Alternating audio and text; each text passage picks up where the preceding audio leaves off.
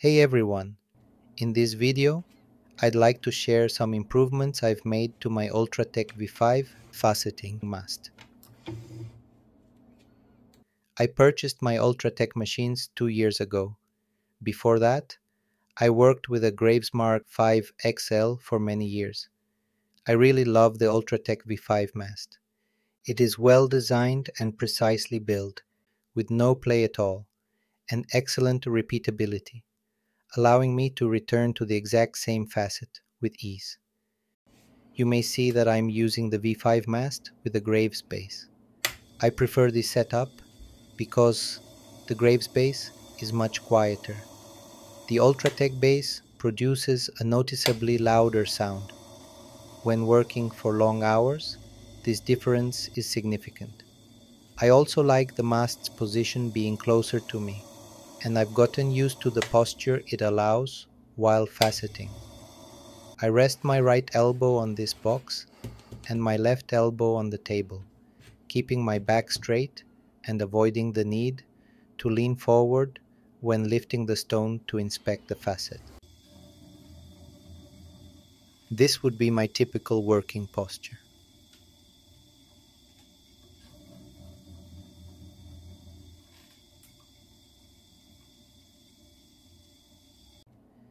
So, what improvements have I made to my Ultratec V5 mast? The most important one is this custom designed and 3D printed piece, which allows me to change index positions with the same hand while holding the stone. I prefer to hold the stone with my fingers while cutting. It lets me apply more pressure against the lap and maintain better control of the stone. Controlling the stone with your fingers can be important for fine adjustment of the facets when we can force the inclination of the stone a little to one side or the other and also for polishing where we sometimes have to use quite a lot of pressure on it.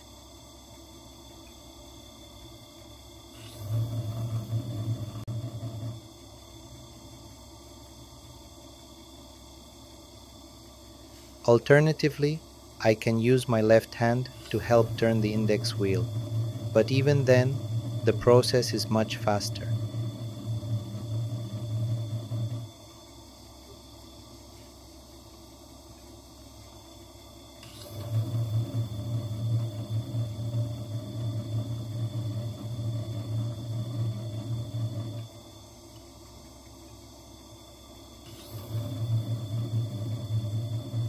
Before I had this extra piece, when I was cutting with my fingers on the stone, changing indexes took me a bit longer. Let me show you how it worked before.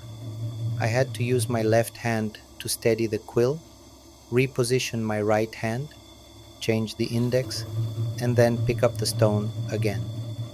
To eliminate these extra movements, I designed this small plastic piece, which allows me to change the index while keeping my hands practically unchanged.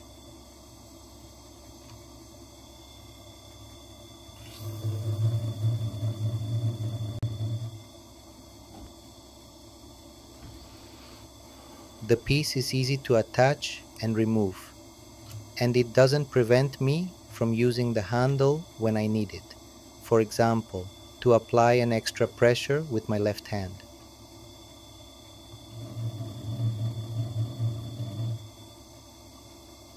It also doesn't interfere with traditional index changing, which I still use at times. For example, when working at 90 degrees on the girdle. Let me show you how it works. Let's set the angle to 90 degrees.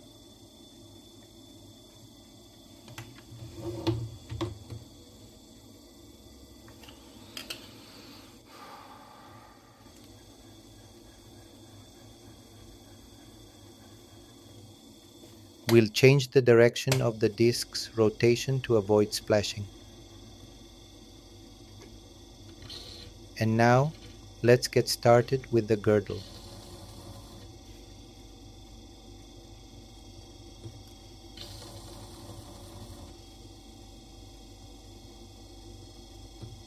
Initially, the freshly printed piece was a bit tight, making it harder to attach and remove. I used a screwdriver to slightly open it, like this, but over time the plastic loosened, and now I can put it on and take it off without any issue. At first, I considered adding a clamping system with a screw, but after six months of use, I've realized it's unnecessary. The piece stays in place securely and helps me to speed up the cutting. Whenever it's not attached, I quickly miss it and put it back on. If you're interested in trying out this index changing piece for your V5, I can print one for you. There will be a link in the video description.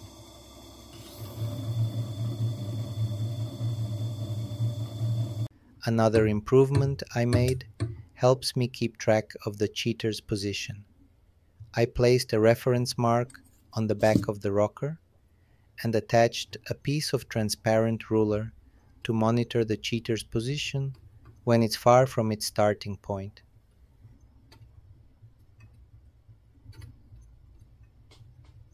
Since I frequently cut complex designs with fractional indexes and do a lot of recutting, I often rely on the cheater.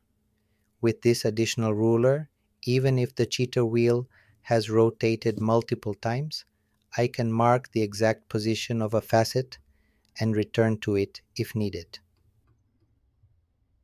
For example, here I am at position 0 on my ruler scale. Here I have moved to position minus 1.5. And here I am in position plus 1.1. To further assist in tracking the cheater position, I've painted half of the cheater wheel with a red marker, so I can easily tell whether I've rotated it forward or backward. Now, when recording the exact position of a facet, I use four numbers instead of two the usual angle and index, plus the ruler position and the cheater reading, marking the white numbers with a plus sign and the red numbers with a minus sign. This way, I can return to the exact facet position quickly and efficiently. Here is an example of this type of notes from my workbook. To cut a diagram with fractional indexes, I have calculated the cheater position to be placed for each tenth of an index for different wheels. If the tenth is greater than 5, it is easier to reach it by subtracting from the next index number. Using these tables, very complex designs can be faceted quite quickly. One important thing to keep in mind. When changing the index wheel, after removing it, make sure the rocker doesn't drop and break the ruler on the other side. To prevent this, always lock the rocker in its raised position, as if you were rounding the stone. Once secured, you can change the index wheel as usual without any issues. To avoid the built-in locking mechanism from occasionally releasing, I like to secure the rocker in its raised position with a Velcro band. This ensures a safe index wheel change, while preventing the rocker from lowering and damaging the ruler. Here are a few additional minor modifications I've made. I added a horizontal position mark on the mast to quickly and visually set it to 90 degrees before fine adjustments.